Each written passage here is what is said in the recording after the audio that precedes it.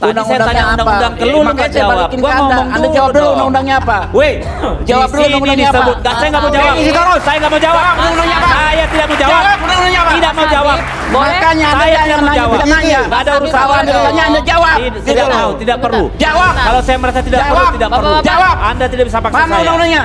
Jadi saya Anda jangan sebutkan. nanya, jawab dong. Setiap Mas Habib, orang Di mana berhak undang-undangnya? Menentukan diri. Sebentar, boleh nggak sebentar? Undang-undang Setiap apa? orang berhak Ya. Anda jangan ngomong. Politikus Gerindra, Muhammad Habibur Rahman, kerap menjadi tontonan masyarakat saat berdebat dengan lawan politiknya. Sayangnya, saat debat di televisi, yang ia tampilkan adalah otot, bukan kecerdasan intelektual. Momen Habibur Rahman debat dengan politisi PDIP, Deddy Sitorus, sempat viral di media sosial.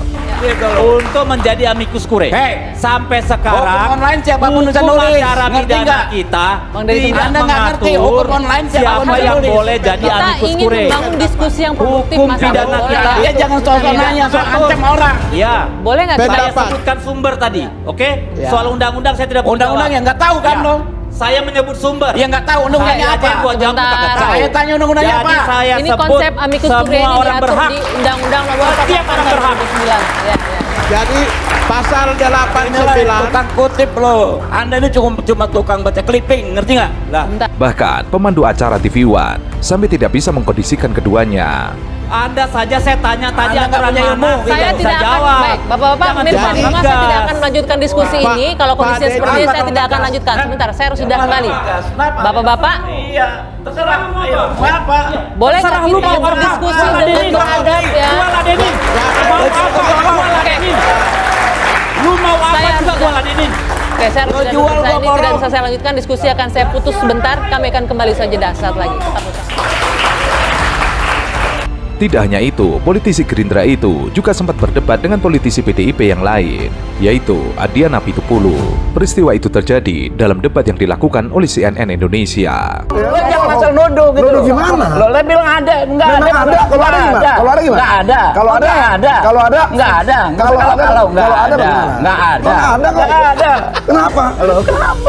Kalau ada. Enggak ada kok. Oke, lu mau membantah pernyataan Ini hasil? atas perintah. Lu mau membantah pernyataan Oke, hasil? Sebentar. Bahkan, debat keduanya juga sempat viral di media sosial. Tidak tanggung-tanggung, para netizen pun mengedit debat keduanya sebagai meme yang membuat ngakak masyarakat Indonesia. Momen debat ketiga terjadi saat Habibur Rahman tampil di Kompas TV. Saat itu ia kembali meladeni politisi dari PDIP, Henry. Dalam debat tersebut, Habibur Rahman sempat mempertanyakan kapasitas Henry dalam undang-undang yang ia klaim pernah dibuatnya saat ia menjabat sebagai DPR RI. ya kesimpulannya 02 nggak mau peduli Yang namanya tingkat- kecurangan ada demokrasi karena menguntungkan mereka Ditahan dulu Bang Henry, ditahan dulu Bang Henry, silakan. Bang Habib. Jangan sombong gitu loh, jangan arogan. Gitu loh. Ya. Jadi ini? di PHPU ya di buku di buku keempat Undang-Undang Nomor 7 Tahun 2017 disebut sengketa proses ya. Kalau Anda diajarin, proses, itu ada yang namanya sengketa itu. proses gitu loh. nggak usah Ya. diajarin itu saya ikut mengesahkan Nggak undang-undang itu diajarin, saya menyampaikan pendapat saya, saya nggak mengajarkan Anda, saya menyampaikan pendapat saya. Terserah Anda mau yakin atau enggak gitu loh. Emang Anda siapa? Baik. apa Anda siapa? Gitu loh. apa teh Ya emang Anda siapa gitu loh. saya usah siapa diajarin. saya waktu itu saya anggota DPR RI waktu Iya, itu saya anggota DPR RI 2017 Iya paham nggak buku keempat? Paham. Gitu loh. Iya apa? sangat paham proses. anda yang nggak ngerti anda yang nggak paham Namun, perdebatan semakin panas saat Habibur Rahman mengucapkan bahwa ia tidak takut dengan Henry. Komentar tersebutlah yang membuat Henry naik pitam. Ia juga mengatakan tidak takut dengan Habibur Rahman. Ia lalu mengajak Habibur Rahman untuk tidak hanya ngomong di televisi, tapi juga berhadapan-hadapan. saudara Habibur Rahman Apa kenapa? maksud kalimatmu emang saya takut dengan anda itu apa Iya. saya lebih nggak bentak. kamu Takut jangan, juga bentak. kamu jangan cuma berani Oke. ngomong di TV Mohon maaf Bang cuma ini berani kita tidak ada terkaitannya soal takut atau tidak takut. Hadapi- Yang kita bahas saya. di sini adalah terkait dengan gugatan yang akan diajukan oleh TPN eh, Ganjar. Momen keempat terjadi antara politisi PDIP lainnya, yaitu Kapitra Ampera dengan Muhammad Habib Rahman. Hal itu terjadi saat keduanya membahas tentang Undang-Undang MK. Kapitra saat itu meminta agar MK yang membuat undang-undang dibubarkan karena melegalkan keluarga Jokowi untuk maju dalam Pilpres 2024. Kalau lembaga yang salah perlu dibubarkan lembaga itu. Jadi jangan katakan harus dibubarkan itu Pak? Ya, kalau itu kalau itu tidak konstitusional, kalau itu tidak kalau itu melanggar undang-undang, tidak tidak perlu mereka. Anda jangan Anda jangan mengerti soal itu. Anda harus paham bahwa kepentingan Anda untuk masuk ke partai lain itu juga sudah melanggar konstitusi. Anda. Harus pikirkan gitu ya bagaimana supaya supaya kepentingan bangsa Ya ini di atas kepentingan politik. Anda.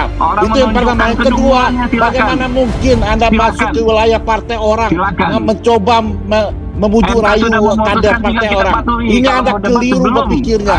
Keliru bagaimana merebut kekuasaan. Kekuasaan itu harus direbut pakai etika dan moral. Mendengar pernyataan dari Kapitra, Habibur Rahman menyebutnya dungu. Maka terjadilah perdebatan panjang dan akhirnya saling memanas. bukan direbut dengan segala cara dan menghalalkan segala cara. Ini bahaya untuk demokrasi dan bangsa ini ke depan. Itu harus anda pahami itu. Ya. Dan kedua jawaban jawaban soal apa? Ya, jawaban soal yang Anda. kedua. Ya, Gitu kan? bagaimana mungkin anda, bisa memuju rayu eh, kader orang Tahan lain, Bapak-bapak. kader partai lain? Apakah kalian tidak punya kader kader lain, kader sendiri? Kenapa harus